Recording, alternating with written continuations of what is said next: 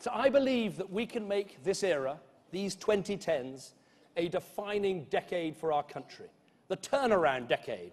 The one which people will look back on and say, that's the time when the tide turned, when people no longer felt the current going against them, but working with them. We can be that greater Britain because we know this nothing is written. We proved it in schools across our country that the poorest children don't have to get the worst results, they can get the best.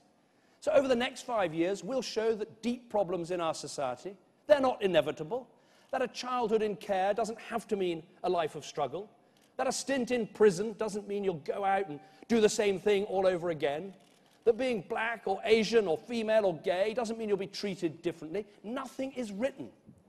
And if we're to be the global success story of the 21st century, we need to write millions of these individual success stories. A greater Britain made of greater expectations, where renters become homeowners, employees become employers, a small island becomes an even bigger economy, and where extremism is defeated once and for all.